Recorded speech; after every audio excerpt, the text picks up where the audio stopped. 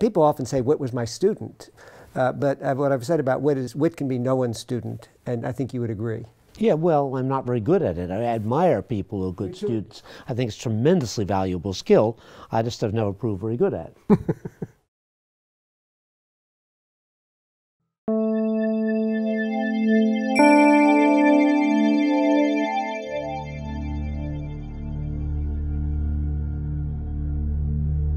We stand today on the brink of a revolution in cryptography.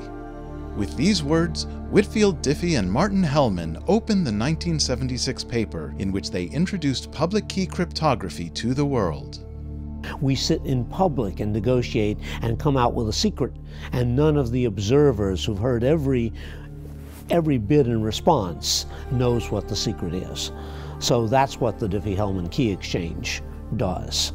In 1976, the field was largely unknown outside of secret research at government agencies, such as the one where Alan Turing himself once worked as a cryptographer.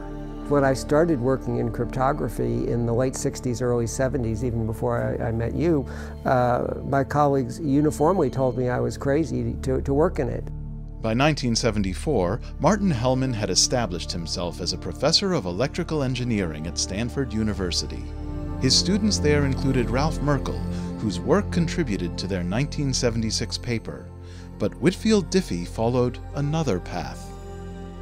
When you, I met you, you were traveling around the country as an itinerant cryptographer, living on, you know, whatever you'd saved up and the largesse of the AI community, which seems to bunk people uh, free of charge if they like you.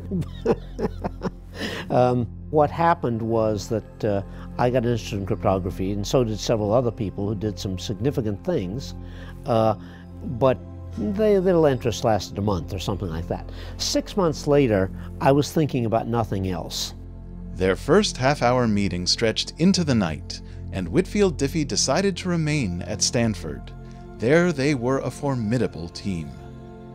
I think Marty's smarter than I am, and I'm more imaginative than he is. And so I think in that our working relationship, I came up with more problems and he came up with more answers. Together, they exposed a government plan to gain access to encrypted secrets by weakening the proposed digital encryption standard. Their arguments were proven right, and they struck a blow for academic freedom as well.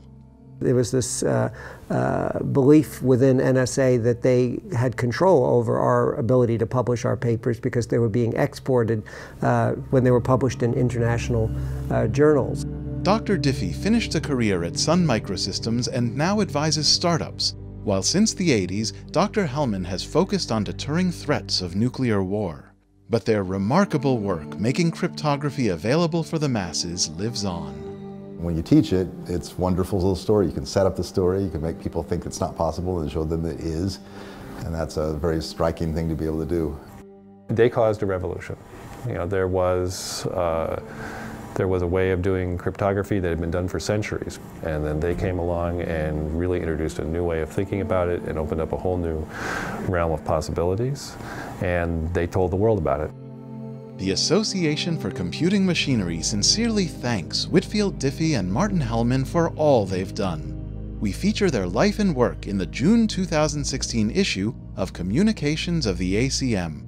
A banquet in San Francisco celebrates them, along with recipients of this year's other ACM awards.